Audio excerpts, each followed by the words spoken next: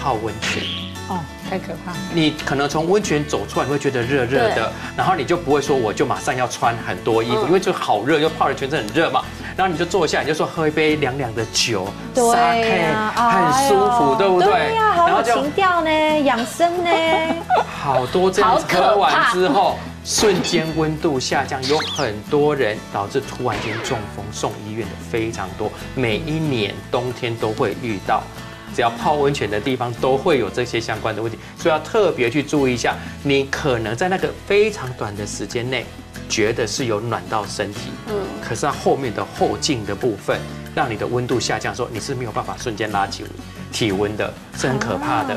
刚刚讲到这个泡汤嘛，有些人就想要追求那个气氛，说我要这个在在雪里面，然后呢就是泡热野泉，对，然后我身上就是有那个雪打在身上的那个凉凉的感觉，但是我身上是热的，那这样也是很危险的喽。呃，其实其实这个泡温泉是有学问的哈。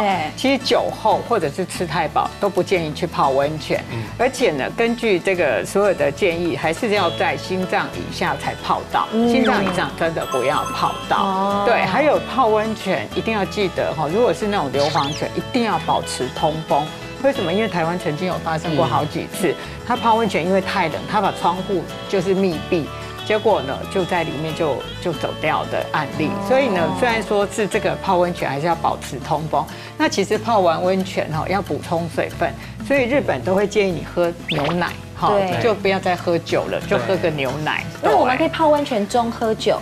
然后 喝牛奶，对，因为都有这个最 好聪明，最高级的享受就是我泡温泉的时候，旁边有一盅 sake 或者一杯酒，然后那边看着景，然后泡在那个里面赶快喝，然后站起来之后赶快灌牛奶，因为它立刻进到你的身体里面，然后立刻就热起来了嘛，对不对？那个那那这样可以吗？如果你要喝酒的话，那你就得记得一杯酒要喝一杯水。好，为什么呢？因为你你可能脱水嘛，所以一杯酒一杯水这样会比较安全。对呀，对，还是算了，听起来有点麻烦。